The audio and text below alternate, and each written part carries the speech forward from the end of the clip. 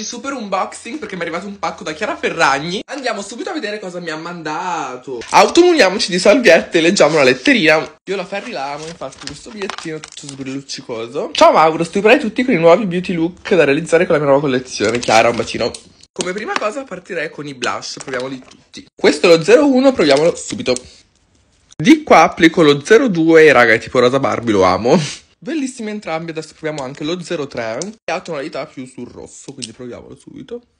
Molto carino anche questo. Poi passiamo a questi due illuminanti. Questo qua dorato è eh, numero 05 e questo qua più chiaro è il numero 04. Proviamo subito anche questo che mi ispira di più. Ve li mostro sul braccio perché secondo me senza base hanno un effetto un po' diverso, quindi proviamo entrambi vicini anche. Due effetti totalmente diversi. Questo qua è super sbrilluccico, traga bellissimo.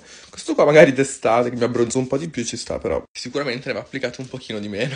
Ora passerei alle matite labbra che mi